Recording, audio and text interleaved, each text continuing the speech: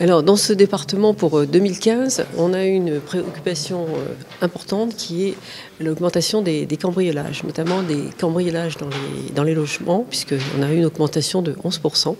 Et un autre phénomène aussi, qui n'était pas un phénomène connu dans ce département, qui est l'augmentation des vols de véhicules de plus de 30%, et est une préoccupation aussi donc nouvelle, préoccupation euh, majeure, puisque en plus, souvent ces vols de véhicules se terminent par l'incendie du véhicule en question. difícil. On a une diminution des, des, violences euh, aux, personnes. Par contre, quelque chose sur lequel nous restons très attentifs, c'est dans le domaine des violences non crapuleuses, c'est les domaines de violences qui touchent la sphère familiale, où là, on a quand même une légère augmentation. De plus en plus de, personnes, notamment des femmes, viennent euh, porter plainte, témoigner et sont pris en charge. Donc cette augmentation des chiffres aussi traduit peut-être une, meilleure appréhension du, sujet et moins de réticence de la part des victimes à déposer plainte.